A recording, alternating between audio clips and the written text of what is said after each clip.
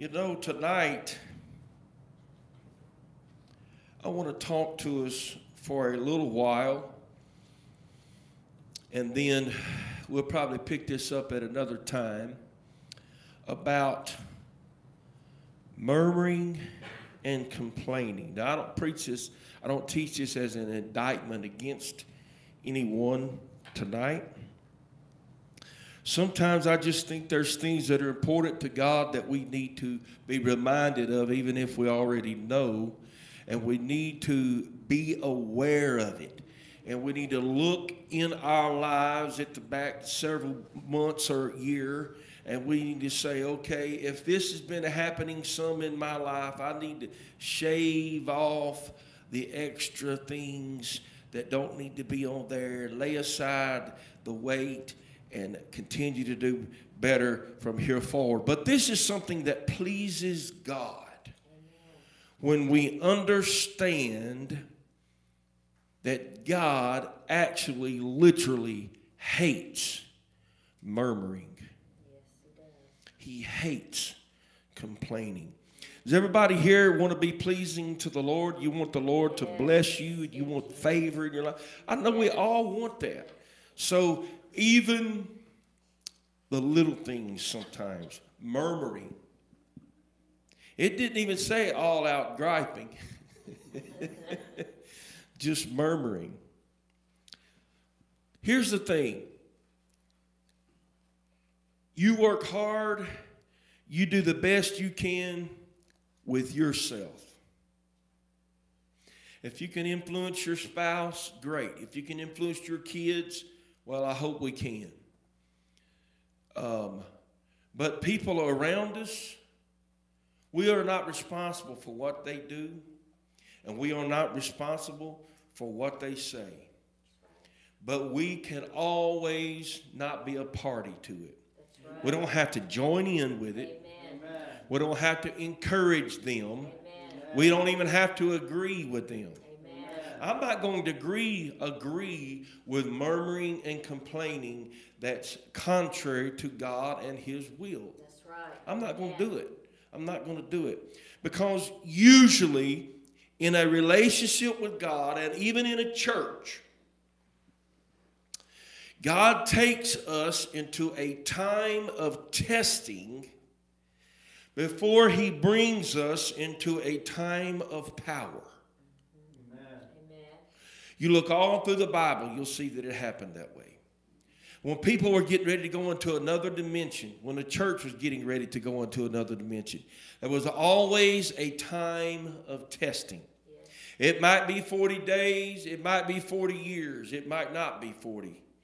But it seems like 40 days or 40 years is attached to that time of testing when the people of Israel, like in Numbers 11, my text, which I was reading what it referred to, that's similar to what Israelites went through in the wilderness as they moved from Egypt to the promised land. And as we go through a time of testing, I believe we are in a time of testing in this church. I really do. I believe that. Um, but we've been in it for a little while, and I believe we're about to come out of it. Amen. Amen. Amen. I said, I believe we're about to come out of it. Can I get anybody that has faith in this room tonight to talk back to me a little bit? Come on, wake up. and um, even if you don't, if you don't hadn't fully grasped that, if you say amen to it, that's saying let it be, let it be, let it happen, let it take place. I'm in agreement with what God's will is and what He wants to do. So we need to understand what it takes to pass and make it through this testing into God's promise, into the power. Because you're not going to be able to take a detour and go around it. It doesn't matter how bad you want to stop and go around it, you're not going around it. I know uh, there was one time that when they were in the wilderness, the Bible said the people were discouraged because of the way. They got discouraged because of the path, because of the journey. They were getting discouraged. That happens. Sometimes it's hard, sometimes it's rough. Sometimes we go through areas of testing and we go through just life and we go through hardships. You know, it may be with all of a sudden you find out you, you got some condition physically in your body, or someone that you love dearly has got some kind of condition. Or, um, you know, you lose some money, lose two or three hundred dollars, you know, rolled up in a something and you don't know where you put it and, and you think it's lost or it's worse than that. Maybe maybe you get a, a four or five thousand dollar doctor's bill that you weren't expecting and don't know how you're going to pay it. And, and so having to pay that puts your all your finances in in a, an awry it puts them in in stress. Or maybe it's just something at work, or maybe it's someone you know, or maybe it's just your attitude about life, and, and you don't know why. You're just disgusted and disgruntled, and you're not happy. Well, I've got news for you today. Sometimes God's hand is in that, and sometimes God's doing it because He wants us to be tested. Now, in 1 Corinthians 10 6 that I read, it said it happened as examples for us that God's anger was kindled and the fire of the Lord burned among them, that we should not try the Lord as some of them did. And another place, I'll probably read it before we get done, it said, Don't harden your hearts and provoke God. And he called he called their murmuring an evil heart of unbelief. Because if you understand the battle, and every time you rise up, or every time you want to do something for God, there's a warfare. There's a warfare involved. I was talking to Brother Stephen about this just the other night. And, and, and a lot of us get into to warfare when we face needs.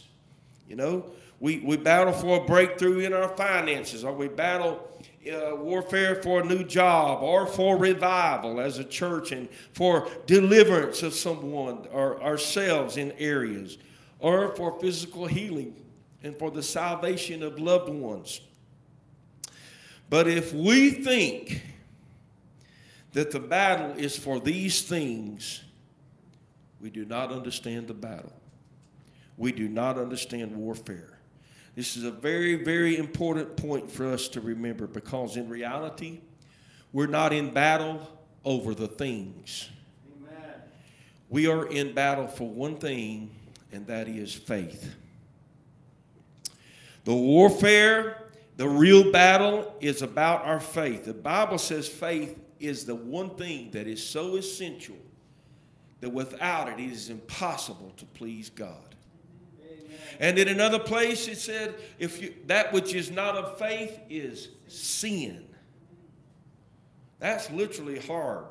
That's harsh words, and especially in our postmodern world today where, you know, we got to consider and agree and everything else. But faith, if we have faith, somebody say, if I have faith then nothing is impossible and nothing is withheld. She already read the verse that said that, uh, that those that fear the Lord, reverence, respect, or worship the Lord have do not want for anything.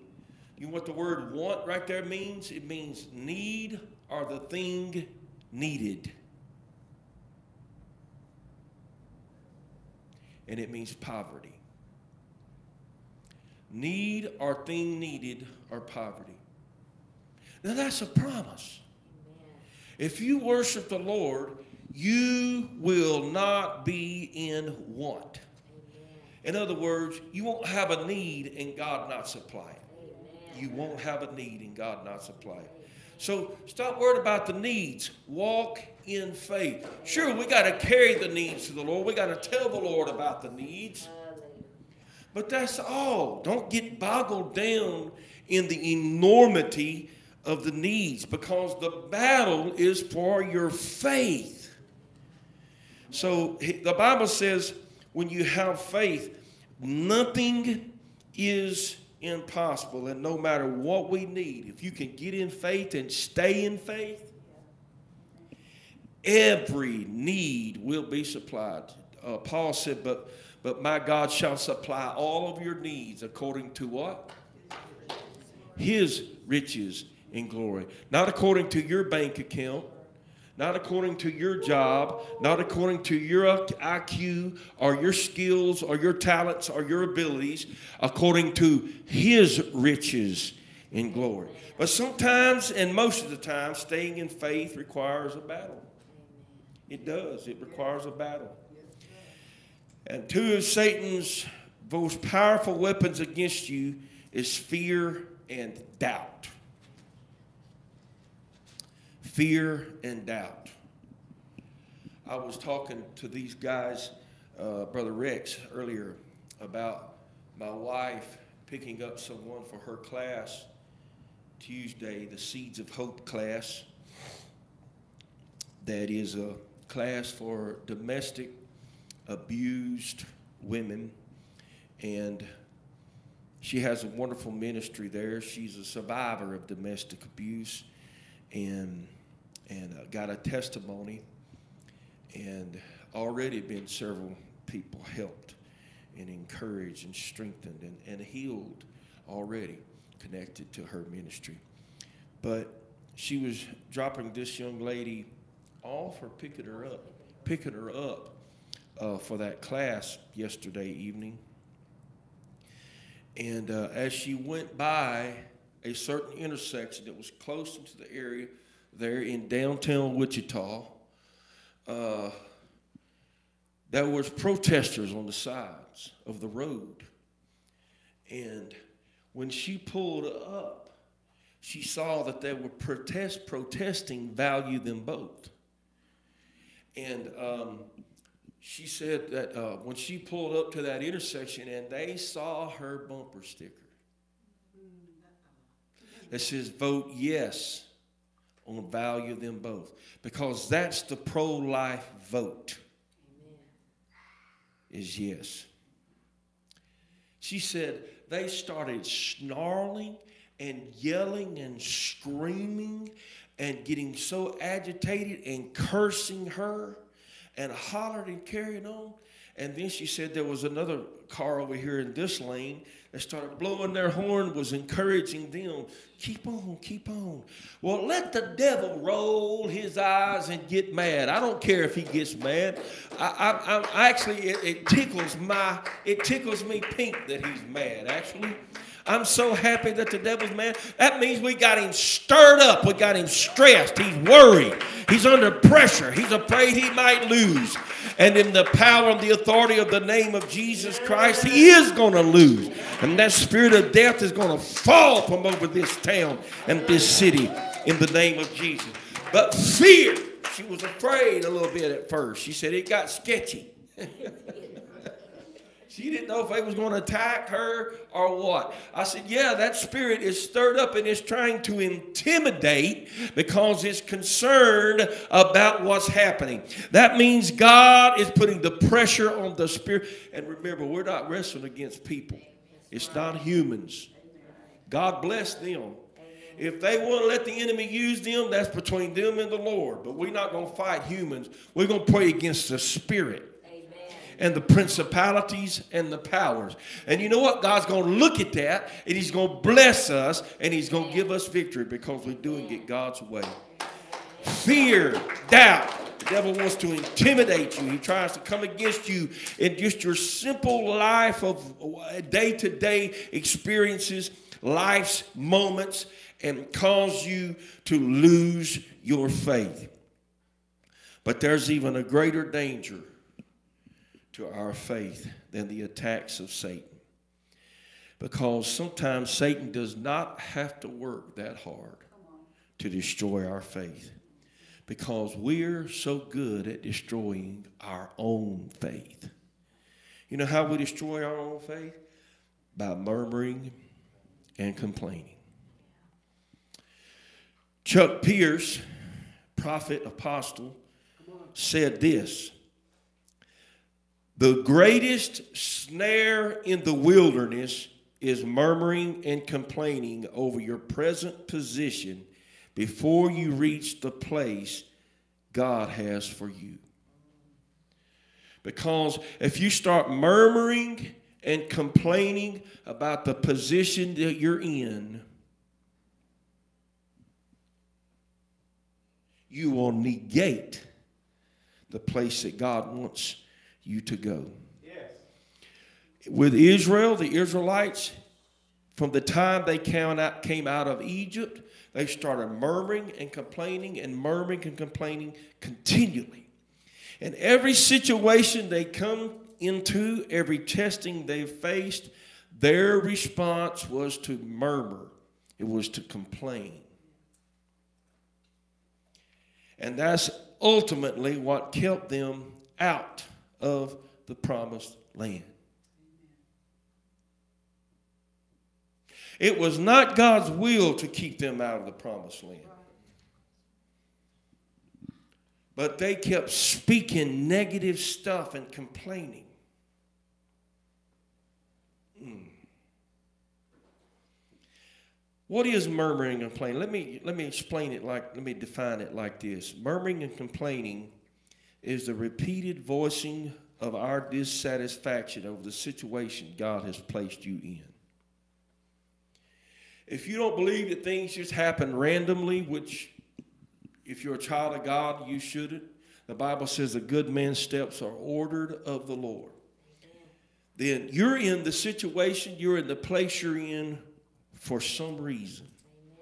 Maybe it's just so that you will praise Him to get to the next level. Maybe it's so you could just be tested so that God can trust you with another dimension. It may be for that very reason. But when you describe your situation all the time, telling people, here's what's going on in my life. Girl, it's so rough, it's hard. That's you voicing your dissatisfaction with the place you are in. Sometimes this, this murmuring and complaining comes from self pity. I'm not going to go over this a lot tonight, but even when you describe and tell people about it so they feel sorry for you, that don't help the situation. The situation's still there. It's still the same. Sometimes complaining comes from anger, sometimes it comes from bitterness. You prayed, you're still having the same problem, so you get angry with God. you want to tell other people about how angry you are, about where you are, so you repeatedly voice the problem. But let me tell you something whether it comes from self pity or it comes from a desire for sympathy or it comes from a heart of bitterness that's produced by anger, murmuring, and complaining, always comes from a heart of unbelief.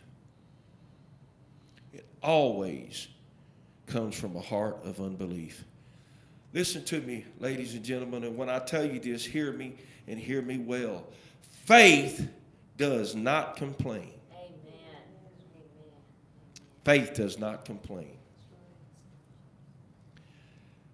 Love don't judge. Amen. And faith does not complain. There is no complaint that rises from the heart of faith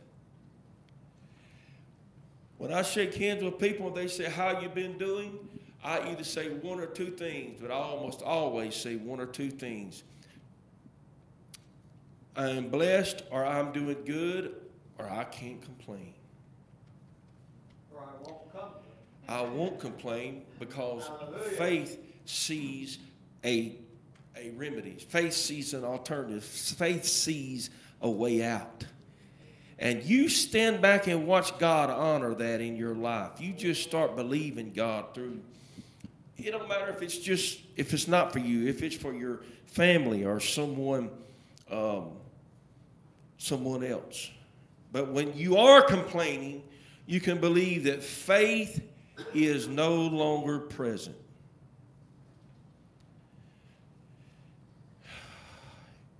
I've already taught you as, as a congregation since I've been here that faith is the currency of the supernatural. Faith is the currency of the spiritual, of heaven. You, you want to know how much of this bottle of water costs right here? Well, you go in the store, you see the price tag, and you walk up to the counter and you pay $1.99 or whatever it is. If you put the currency down that's accepted and in the amount that is required, they'll give you the thing. And that's the way it is when you come into heaven. The Bible, the Bible, in the spiritual realm, the Bible said that it was, it was imputed, righteousness was imputed to Abraham because of his faith. What does that mean? Righteousness that he didn't have and could not generate was given to him because he gave God his faith. God said, You give me your faith, I'll give you righteousness. And it's the same way today. Anything that you see, desire, need, especially in your life, believe God for it. You ask God for it, and then you, he, he everyone that asks receives. Everyone that knocks, the door is open. Well, that, that right there means that he that keeps knocking he that keeps asking. So if you just ask one or two times and give up, well, you know, my kids around our house, and I know God's not like this. I don't know why God wants us to keep asking, but He has His reasons. Sometimes these kids around the house, their mother, I don't know what it is about their mother, can tone them out. Son. She can ignore them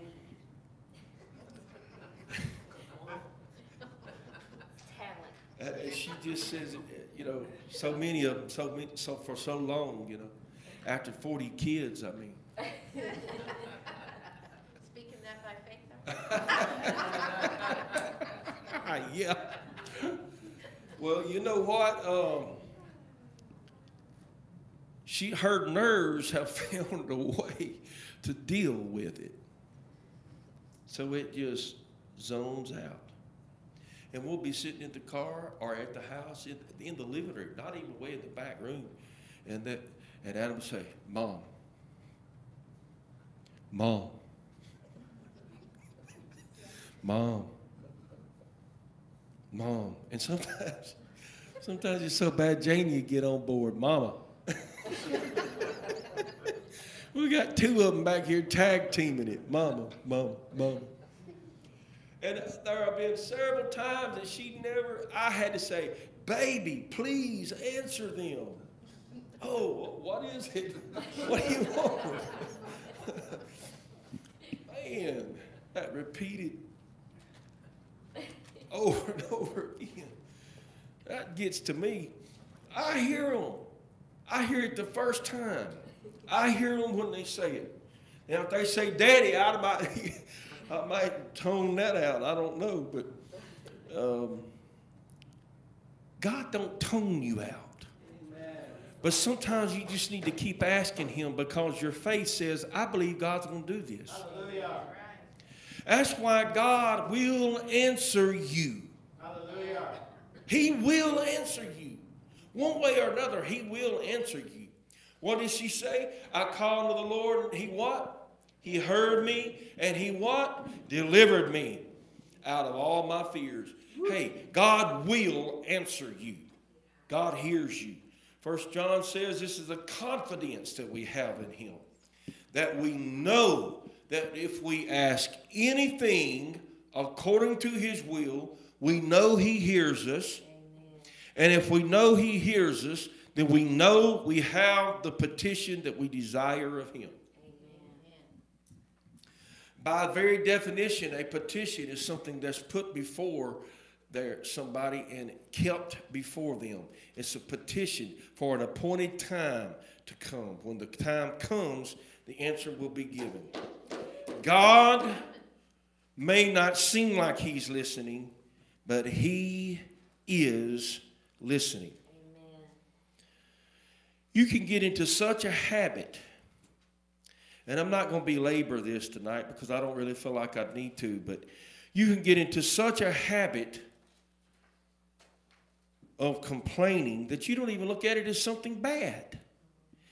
It just seems for some people a favorite pastime.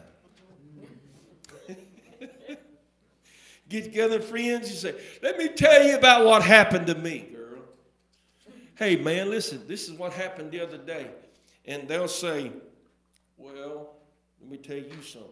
And they got a little bit worse situation they're going to tell you, but they're going to one up you. You get two complainers in the same room, and the whole world is on fire, and hell is everywhere, and everything's damned, and it's all bad. But if you get one grain of faith, one grain of faith, like the grain of a seed of a mustard, that's such a tiny little seed. But I am telling you right now, I don't need no pity party. I don't need a pity party. I believe God is going to work. When, God, when we complain, the Bible says He gets angry. Numbers 14, God says, How long will I bear with this evil congregation? I have heard the complaints that are making, they are making against me. And then the first Corinthians that I read to you that said they happen for an example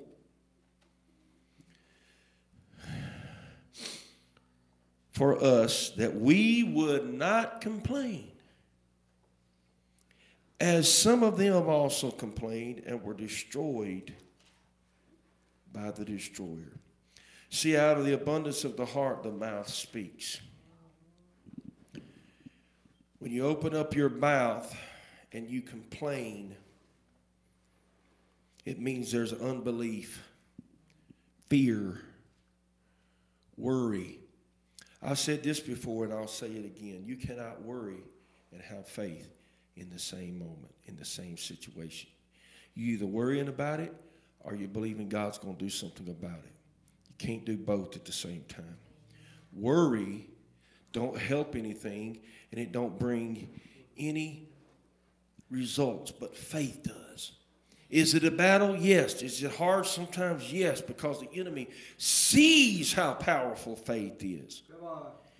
And Philippians 2 14 through 16 says this Do all things without murmuring and disputing, that you may be blameless and harmless, the sons of God without rebuke in the midst of a crooked and perverse nation among whom ye shine as lights in the world. Why? Because we've got the right attitude, we got the right spirit, and God's favor is shining on us and lighting us up, and it's shining into this world.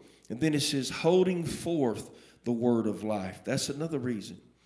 That I may rejoice in the day of Christ, that I have not run in vain, neither labored in vain. As I close, I will say this. This is why complaining is so dangerous because it cuts off your vision for the future.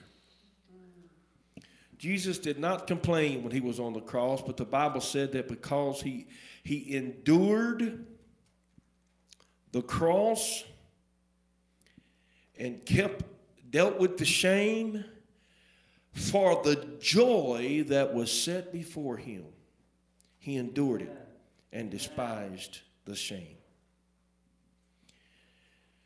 Listen,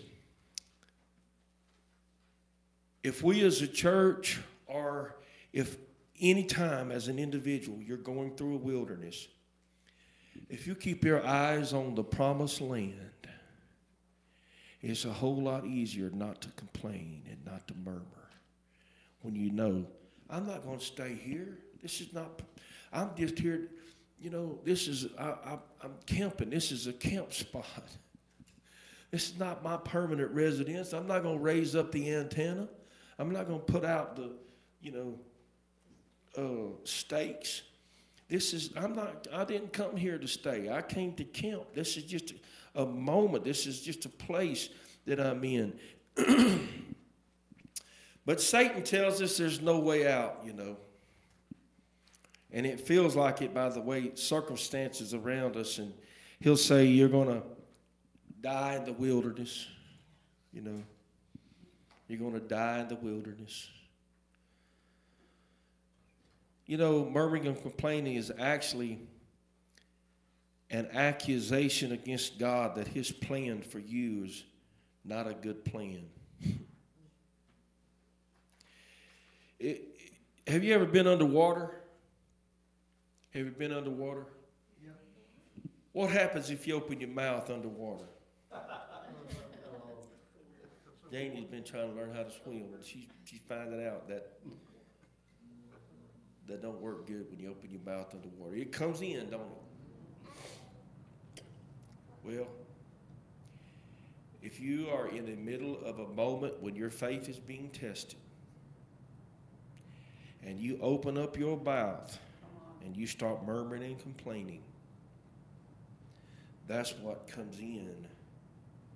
And that's what begins to take root in your life. Because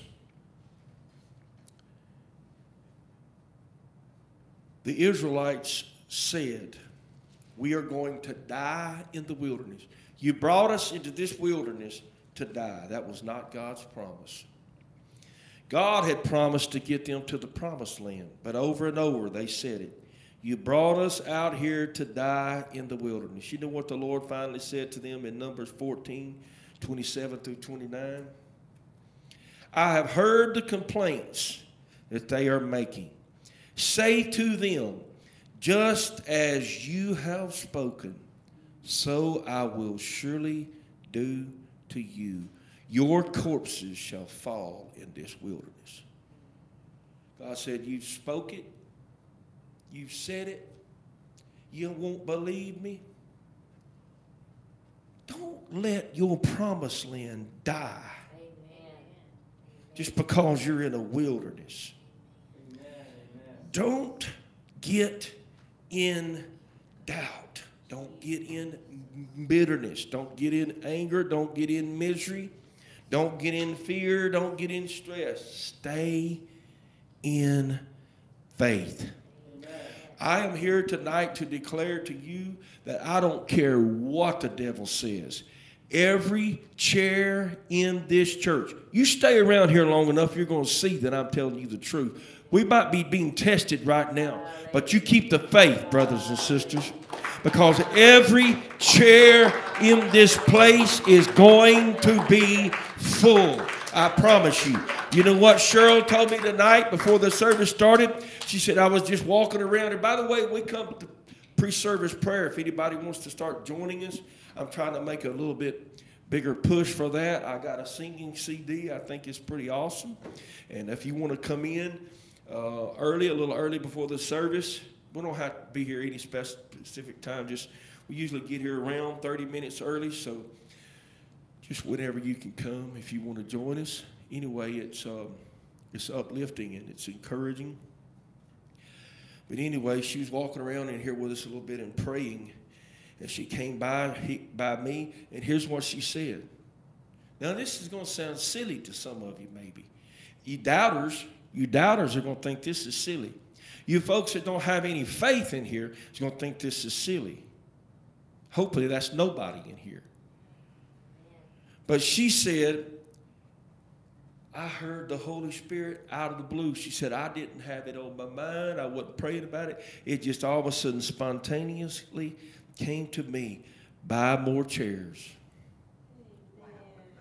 Buy more chairs. See, I told you it's going to sound silly because we got half a church full of more, full of empty chairs. But I'm going to tell you right now, overnight, God can change the situation. And I stand to declare to you that Eagles Nest Fellowship is in revival and we're going to have revival. We are in victory and we're going to see victory. We're in faith and we're going to see miracles.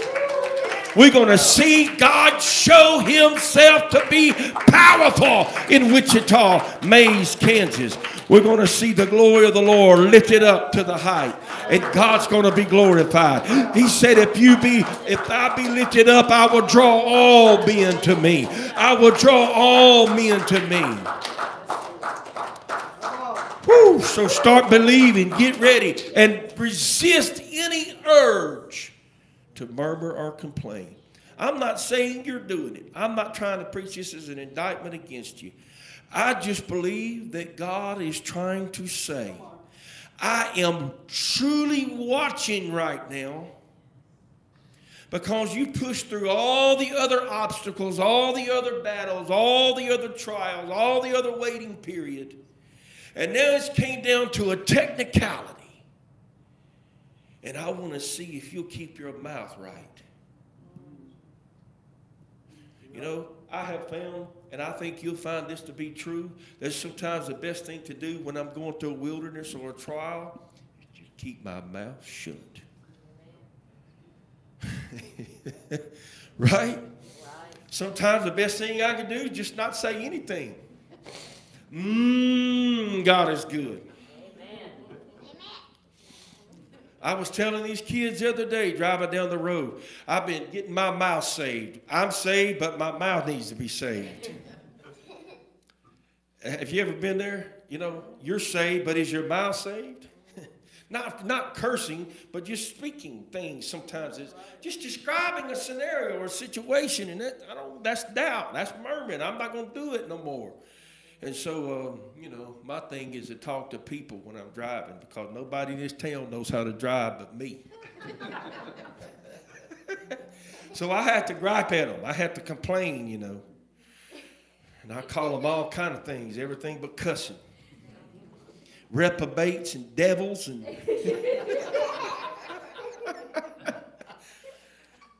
Here about two years ago, the Lord convic- convicted me of idiots and stupid and all that, so I had to stop that. So now it's just, you know, Bible stuff. but I was opening, that's a hard, once you get into a habit of doing that, you know how hard that is to stop. Kids were sitting in the car the other day. I said, That guy, just look at that. You devil. And I said, Oh, God, help me forgive me. And I apologized to them in front of them. And I said, look, I've been doing this so long, but I'm going to stop it. It's going to stop. I said, Lord, forgive me for that, and you're going to bless them. God bless them, people. Bless them in the name of Jesus. If anything, bless them so they know how to drive better. no, it's usually probably just me. I'm the one that just needs to relax and enjoy living for God. Because even in the trial, you will find the alternative is what she talked about. The alternative to complaining is praise. Amen. It's praise. Amen. There was this lady that I read a story here not long ago, a pastor's wife that they took a trip to the Ukraine and they went into this room in this area and they uh, she was trying to wash her hands so she got her hands all soapy and tried to turn the water on. There was no water. The water wouldn't come out. So she said i refuse to complain so she said, What you learn in an adversity is a new praise. What does that mean? A new praise is something that you've been taking for granted, that you hadn't even been praising God for. So she said, next time when I came in and I turned the water on and the water came, she said, I praised God for the water coming. I praised God because that's a new praise. And sometimes we just need to be thankful and praise the Lord. You know, I got a car that the air conditioner fan on it, sometimes it blows and sometimes it don't. And today was one of the days that it didn't blow. And I had faith from the time I left to the time I got back, but God's going to fix that. He's going to fix that fan. It's going to start blowing. Um, but what I have found is for that to be true because right now and in the July and August, when that fan starts blowing, I'm going to be praising God for it. Praise God. Thank you, Jesus. Let's stand. Bible says in everything give thanks. For this is the will of God in Christ Jesus concerning you. There is so much robbing ourselves and cutting our own blessings out by things we say, things we do, that if we just will clean up our language from out of the abundance of the heart, speak faith, whether you feel it, whether it's real or not, speak it. That's just like praise. Paul and Silas, do you realize they beat him with many stripes till he was bleeding? They did a lot of really hard things on him. His black back was bleeding, and then they laid him on a wooden pallet. Do you think at midnight, after being beat like that and tortured, that he literally felt like praising God? No, he did not feel like praising. He had pain probably racking, racking through his body, but he chose to praise God, and that's the difference when we make a choice to praise Him because He's good. And He said He has knows His plans about us, that they're good plans and not bad, to give us a, an expected end and to favor us and to bless us. That's what I'm praising Him for. I'm praising Him for the promised land. Might be going through the wilderness right now, but I'm going to keep praising God for the promised land because I choose to praise Him. Because if He said it, I believe it. Amen. Amen. His word cannot lie. Can you raise your hands right now and just love the Lord right now for it? Go ahead.